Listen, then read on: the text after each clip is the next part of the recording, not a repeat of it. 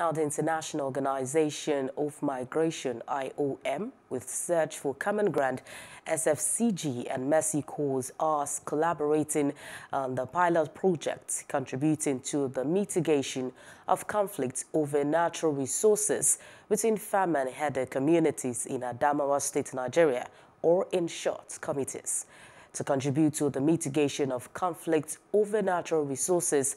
On June 22nd, IOM, its partners, stakeholders, and government officials converged in Abuja for the second high-level project steering committee meeting to provide project updates and share lessons learned and findings aimed at improving trust in authorities and enhancing collaboration between farmers and herders communities.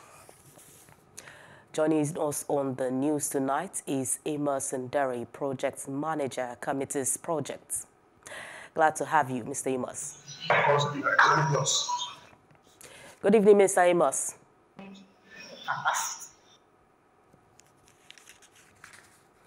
Amos, can you hear me? Yes, I can hear you. Good evening. Now, um, looking at the situation in the northern areas of uh, Nigeria, what do you think is the major cause of uh, farmer-herder conflict, apart from, of course, um, expansion of human settlements and um, privatization of land? Uh, thank you very much for having me. Um, there are many factors. Okay. Uh, there is also the issue of uh, climate change and the environmental degradation that is going on there. Uh, and as we know, uh, the savanna uh, is becoming drier and drier, and the desert is encroaching. Um, at the same time, the methods of farming and animal keeping are need to be modernized. They're still trying, you know, doing the old ways of grazing in the open and also uh, doing shift cultivation. And this type of things are not sustainable in a modern setting where we have higher population. You need to really maximize on land use. And even land management is also another issue that is affecting uh, the communities where they are not able to manage the land properly and then they have uh, a lot of uh, tensions which escalate into conflict. All right, now, so we have the COMITAS project. How does the IOM intend to address intercommunal perceptions, especially what the media brings out? Uh, so for in terms of media, we try, we train uh, media professionals. On how to do conflict sensitive reporting. Uh, and they also are taught how to uh, promote messages that uh, are focused on peace building and uh, social cohesion.